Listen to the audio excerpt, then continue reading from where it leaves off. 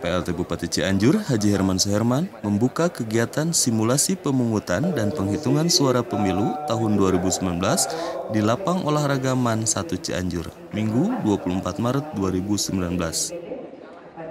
Adapun maksud dilaksanakannya kegiatan tersebut untuk mengedukasi masyarakat pada pelaksanaan pemungutan dan penghitungan suara pemilu yang sesuai dengan peraturan yang berlaku.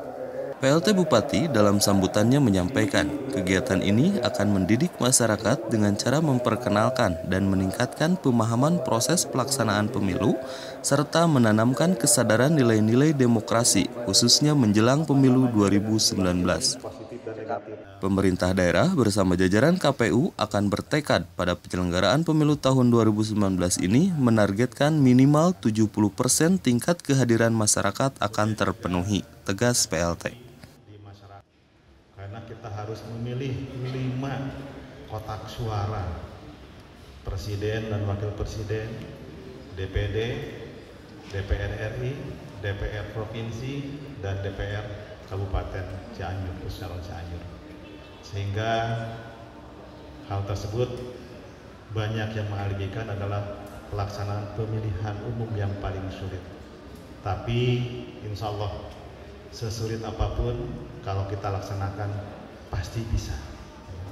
Dan saya tadi juga sudah berbincang-bincang dengan ketua KPU saya meyakini dan saya bertekad bahwa pada pemilihan ini tahun ini saya menargetkan minimal 70% tingkat kehadiran masyarakat bisa terpenuhi.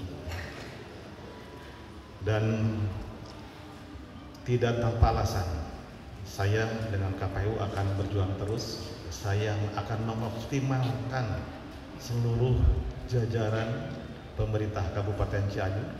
Saya akan mengoptimalkan dengan jajaran TNI, dengan Pak Dandi. Saya akan mengoptimalkan dengan jajaran uh, Kepolisian Republik Indonesia, Pak Wakapolres. Kita bersama-sama agar Cianjur bisa mencapai target minimal 70% kehadiran masyarakat bisa hadir. Dan juga saya Turut pada kegiatan tersebut jajaran KPU, Bawaslu, Badan Kesbangpol, jajaran TNI, Polri, serta tamu undangan lainnya.